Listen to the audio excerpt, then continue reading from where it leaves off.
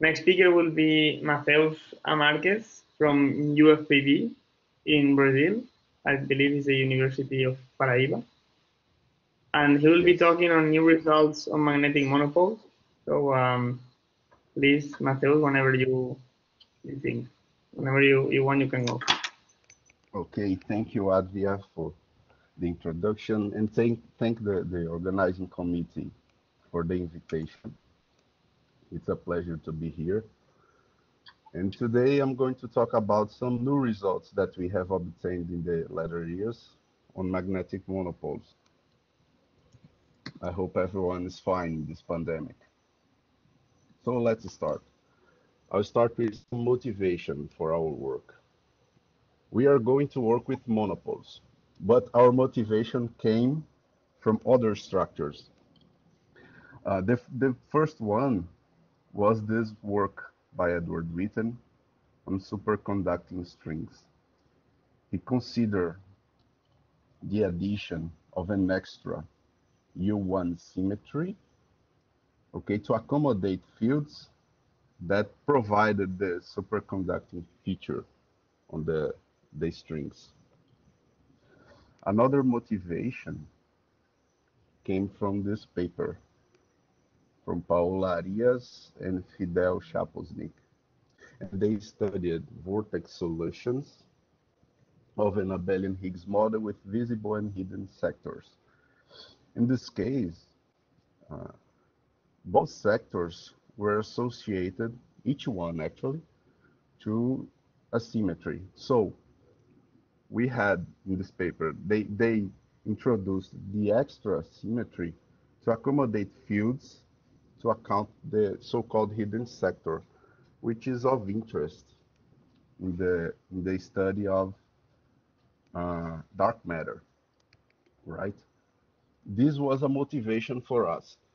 Even though the symmetries there are U1 and we are going to work with SU2 since monopoles are rising SU2 symmetries, but these are motivations, the enlargement of symmetries the idea of enlarged the symmetries that we are going to use came from those works, essentially.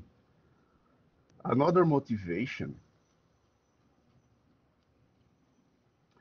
came from this paper, which is actually an supersymmetric extension of the previous one.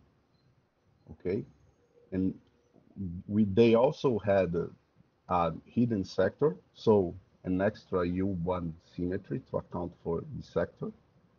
Okay. But we are going to work with monopole. So we are we will deal with SU2 symmetry. Another motivation, uh, but in the curved space-time, was this paper from Kimyeong Lee, Nair, and Weinberg. And they have taken magnetic monopoles to the curved space-time and find black holes in them.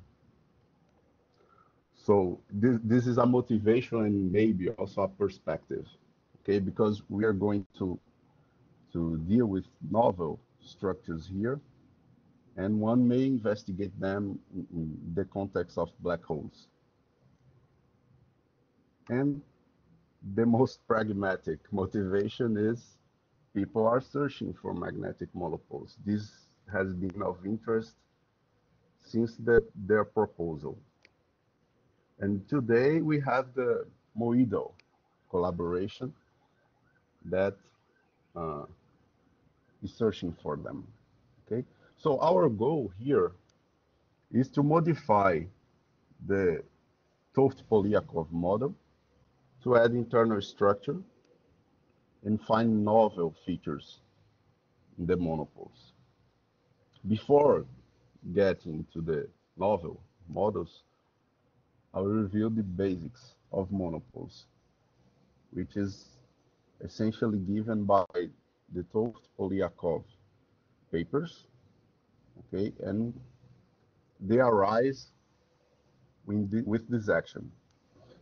So we have an electromagnetic strength tensor here.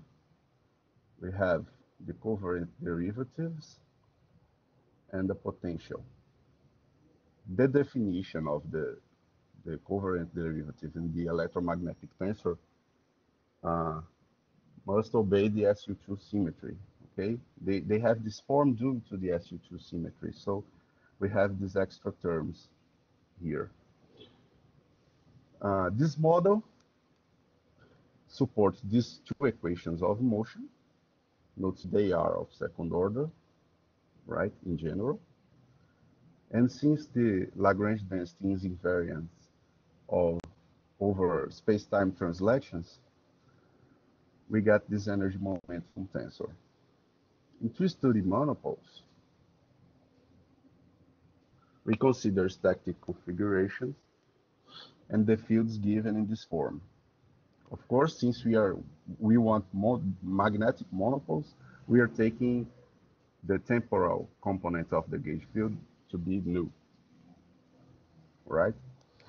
And now the, the fields must be given essentially by the two functions, h of r and k of r. In this case, there that equations of motion get this form. And the, the potential appears here and may introduce nonlinearities to the model. Okay. So these equations are intricate to be solved. To, to get a simple form, to get to simplify the problem, we can use the Bogomolny trick. And then the energy density can be written as a sum of squares and a surface term. Okay. By minimizing the energy, okay, we got these two first order equations. The condition to for this to happen is to have the nu potential, okay, and the energy is given by 4 pi. Notice that here we have no freedom of choice. So there's only a, a function h and a function k that satisfy this these equations, right? And they have analytic solutions given by those expressions. So despite, even though we are dealing with an intricate model, we have analytical solutions. And here, sorry, here I plot them in the left panel. The increasing ones, the increasing line R stands for the, the function h of r, and the decreasing one stands for the function k of r. And here you can see the boundary conditions, okay, at the origin.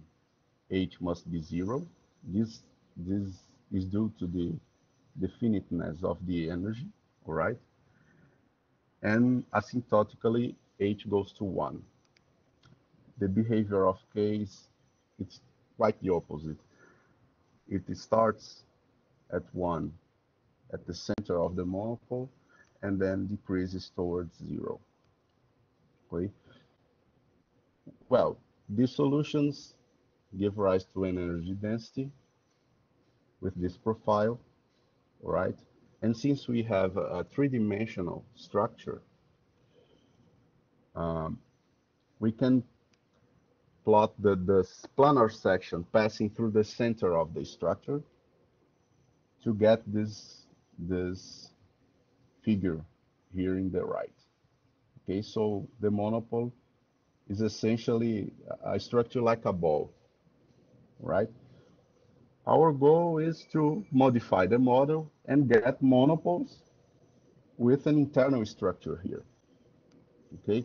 However, as I have said before, the, the first order equations in this form, in this model, the 't Hooft-Polyakov model, only supports these solutions. So we have to modify the model.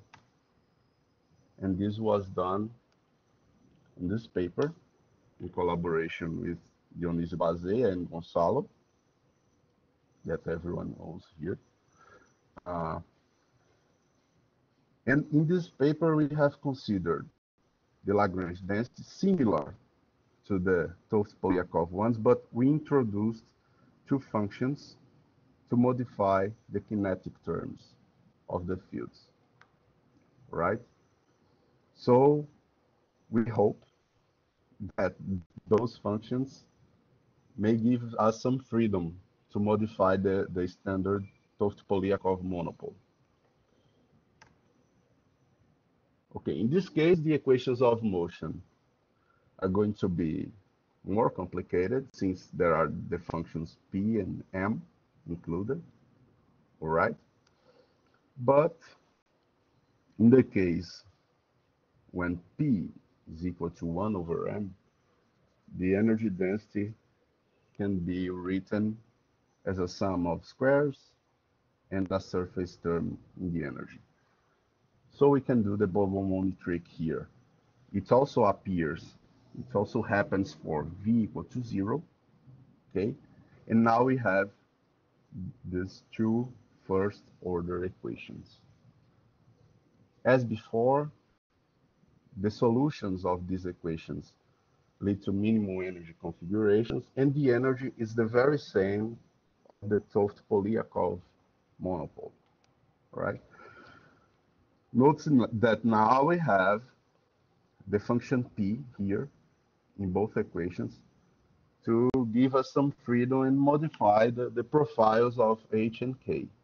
However, we must be careful because p appears in the numerator of the, the upper equation and in the denominator of the lower equation. So we may have problems depending on the behavior of P. Then what did we do? We considered the simplest case that we could think of, which was P being a power law function, okay? And then studying the behavior of the, the, the solutions near the origin to find each powers are possible each powers are, are, are admitted by the system. All right. I won't bother you with the this the mathematics in it. Rather, I prefer to show you the the interesting cases that arise. And the first one is this. We have considered a, a linear contribution in P, okay? And surprisingly, we have obtained analytical solutions, right? This EI, this function EI, is the exponential integral function, okay? So K of R is just an exponential, right? I have plotted these solutions in this left panel, so you can see. And the behavior, the, the global behavior is similar to the 't Hooft-Polyakov one. But note that the function k of r decreases rapidly towards zero. Okay? And this reflects in the energy density. So now the energy density decreases very fast, all right? And by plotting the planar section, we obtain this figure here. So we can see it's a very small structure compared to the, the 't Hooft-Polyakov ones, right? And it is very concentrated around the origin, okay? So due to this, we have called this structure small monopole, okay? The, the, the fall off is exponential. It's a bit different from the, the 't Hooft-Polyakov ones. All right. So th this is the, the simplest case that we could th th thought. All right. But there is another one that is possible too. And it's given by this P. Of course, there are other powers that you can take to obtain uh, uh, similar results. Okay. In this case, we have to solve these two first order equations, all right? but the solutions are not analytical. However, we can use numerical procedures and obtain these solutions. Note that now, near the origin, the function k almost it's almost a plateau here, right? So it almost doesn't decrease near the origin, okay? And this reflects in the energy density as a whole at r equal to zero, right? So uh, it, it is zero, it increases and then goes asymptotically to zero. By plotting this energy density in the in the plane, in the, actually the planar section, we have obtained this profile.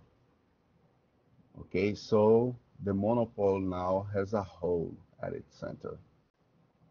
So it's zero, and then it exists, and then it uh, slowly falls off. Okay, and due to this feature, we have called this a hole monopole. Right. So we have found two novel possibilities of monopoles, the small one and the hollow one. And inspired by those those those papers of Schaposnik and et al., Schaposnik and the other authors, we have thought, oh, we could use these structures to enlarge the symmetry of the model and try to accommodate two monopoles, one side of another, you can say. All right? And we did this in this paper, okay? Bimagnetic monopoles. This was done with Dionísio Bazeia and Roberto Menezes. Both are from UFPB. So, how, what is the model in this case? We have the, the usual fields, okay? So we have an SU2 symmetry, and we consider the inclusion of another SU2 symmetry to accommodate the fields that I've called the calligraphic A and the chi field, right? However, notes that the functions P and M and the calligraphic P and calligraphic M depend only on chi. Okay, so we are including a, a, a, an extra sector in the Lagrange density to control the functions that modify the dynamics of our model. Okay, of course, the potential in general depends on uh, phi and chi, right? Okay, the, the normal letters stand for the sector for the usual way, and the calligraphic ones stand for the calligraphic A, okay? we will, we will use this notation. Then we use the ansatz, the, similar ansatz for the hidden sector, the, not the hidden, uh, the, the extra sector, the extra sector, okay? Uh, and now we have a calligraphic H of R and a calligraphic K, right? I won't do the, the Bogomolny trick here, but it can be done, all right? This is in the paper. And by doing so, we find first order equations that minimize the energy of the system, okay? In this case, we have four functions to determine and then four first order equations, okay? But uh, we can think of them as pairs. So we have this pair inside this green box and the other pair. Note that the, the, the equations inside the green box do not depend on the non-calligraphic functions. right? So in this sense, the sectors decouple, okay? And these equations can be solved independently. So by solving them, I can find the profile of the calligraphic H and the calligraphic K. Okay, they do not depend on H of R and K of R. And then use the function calligraphic H, calligraphic H, to feed this function P, right, and modify the profile of H and K. So it's like a, a, a structure, a sector is a source for the other one, right? And this gives us novel possibilities. Uh, and we have to be careful here too, because we, we have p in the denominator of, a, an, of an equation and the numerator of the other one, okay? But it's something feasible, and this leads us to which we have called the bimagnetic monopoles. Uh, in the left panel, we have considered uh, a standard 't Hooft-Polyakov monopole in the center, okay, with a shell on it. Okay, this shell is the hollow monopole, okay? So we have a composite structure here. And another possibility is the, the two shell monopole that we, we have able to do. Okay, so th this is done by considering two hollow monopoles. All right, but we have to be careful because since these are given by P, uh, the, the, the functions that lead to this to this configuration must be treated with care. All right. So these are the novel structures that I that I wanted to talk about. All right. And there are still questions unsolved. Okay. The collective behavior of these composite structures, for instance, is of interest. Uh, since the, the monopoles have a hole at its center, one can study them in the curved space-time to see how the black holes obtained by, by Weinberg and the other authors could behave here. Okay, Th those are open questions, all right?